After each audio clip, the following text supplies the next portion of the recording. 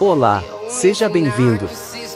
Vamos juntos falar sobre este gênio do mercado, que inclusive diz muito sobre o que fazemos no canal, já que sou uma inteligência artificial criada pelo professor Jackson Carvalho e que sempre estou aqui com você lhe ajudando a aprender cada vez mais sobre trading. Claro, inscreva-se no canal, curta e compartilhe com as pessoas do seu círculo de amizades. Bora para nossa aula. Jim Simons é um matemático e investidor americano que fundou a Renaissance Technologies, uma empresa de gestão de ativos quantitativos.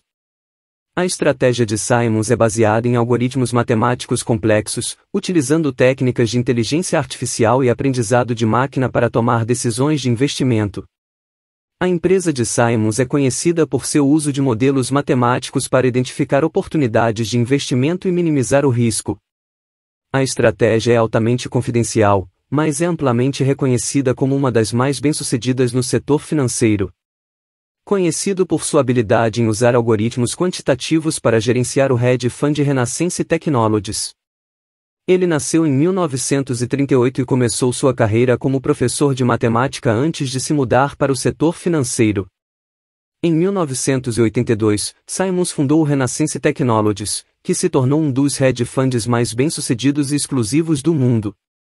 Ele usou sua experiência em matemática para desenvolver algoritmos quantitativos para identificar tendências no mercado financeiro e tomar decisões de investimento. A estratégia de Simons foi incrivelmente bem-sucedida, levando o fundo a retornos anuais de mais de 20% por muitos anos. Simons se aposentou como CEO do Renaissance Technologies em 2010, mas ainda é ativamente envolvido com a gestão do fundo. Ele é conhecido por sua discrição e reclusão, evitando conceder entrevistas e fazer aparições públicas. No entanto, ele é considerado um gênio financeiro e é amplamente respeitado no setor. Em termos de trajetória, Simons começou como matemático e professor antes de mudar para o setor financeiro e fundar o Renaissance Technologies.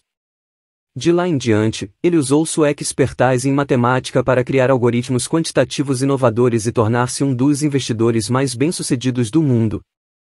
Como Jim Simons faria day trade se operasse na mão ou seja, de forma manual? Baseado nas técnicas e estratégias utilizadas por ele ao longo de sua carreira, é possível sugerir algumas ações que ele poderia tomar, Análise de dados. Jim Simons é conhecido por utilizar técnicas de inteligência artificial e análise quantitativa para tomar decisões de investimento.